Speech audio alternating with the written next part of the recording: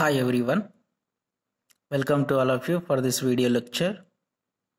Myself, M. Krishna, working as assistant professor in Triple E department, St. Peter's Engineering College. In this video, we are going to discuss loss components and efficiency of three-phase induction motor. Basically, there are two types of losses occurring in three-phase induction motor. They are constant or fixed losses, variable losses. When we see constant losses in detail, the name itself sensing something in throughout the operation of the three-phase induction motor, these losses are maintaining constant values. Initially at starting position, the constant losses values are zero. Look at this. Constant losses are those losses which are considered to remain constant overall normal working range of induction motor. These losses can be easily obtained by performing no-load test on three-phase induction motor. These losses are furtherly classified as iron losses, mechanical losses, brush friction losses. As we know, iron or core losses are furtherly divided into two types one is eddy current loss, another one is hysteresis loss. Eddy current loss means circulating currents are flowing in the core material. That circulating currents are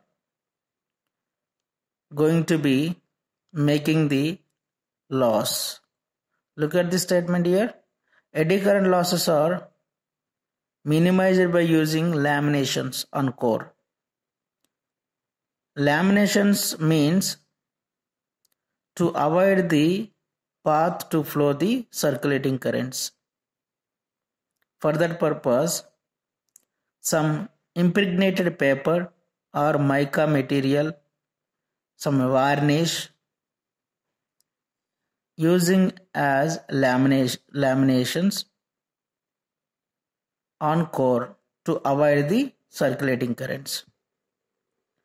Since by laminating the core, area is going to be decreased and resistance increases which in turn decreases the eddy currents. Coming to hysteresis loss, hysteresis loss is purely depends on the magnetic properties of core.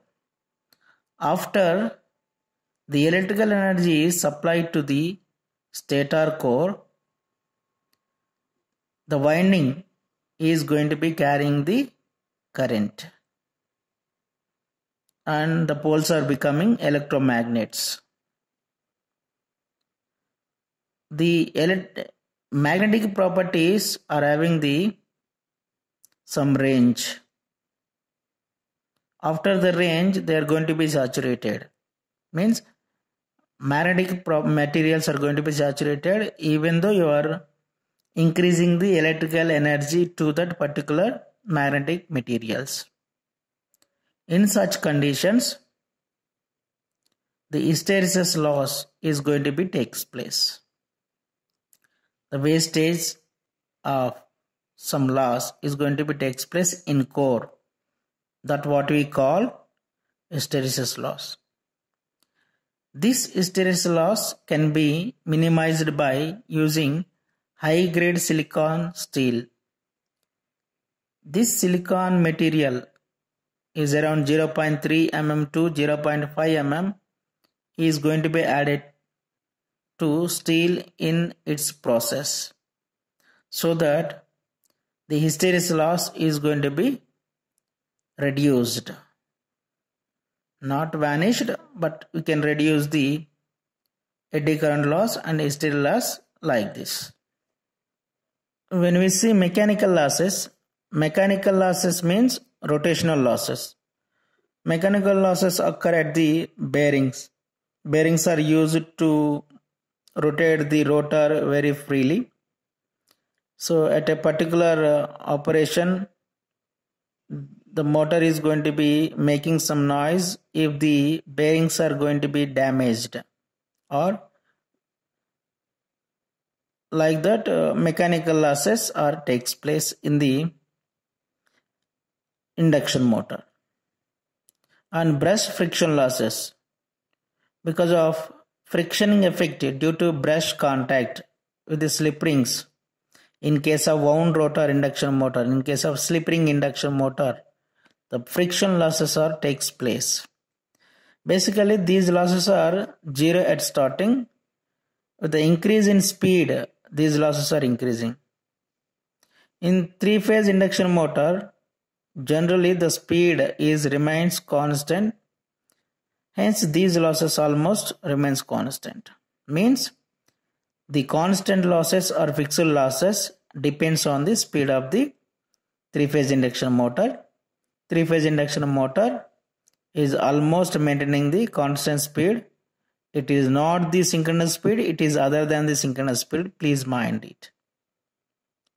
Coming to second type, variable losses. The other name for variable losses is copper loss.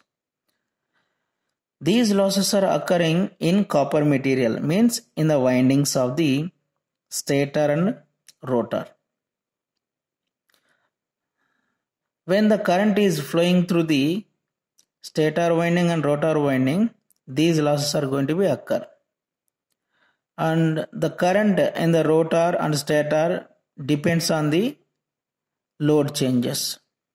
If the load is increased, automatically the current flowing through flowing in the rotor and stator is also going to be increasing, means changes.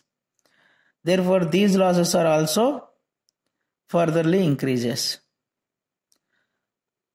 and we can say that directly the variable losses are purely depends on the current values hence these losses are variable losses. The copper losses are obtained by performing block rotor test on three phase induction motor. So this is the background of uh, loss components. Coming to efficiency, efficiency of three-phase induction motor is defined as the ratio of the output power to the input power.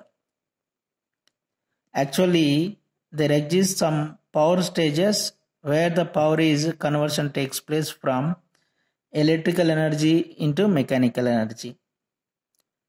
Actually, the electrical energy is supplied to the stator winding then thereafter stator copper losses and iron losses takes place. From that the input is uh, uh, produced. The induced voltage will be there on the rotor bars. After that rotor bars are uh, carrying the currents.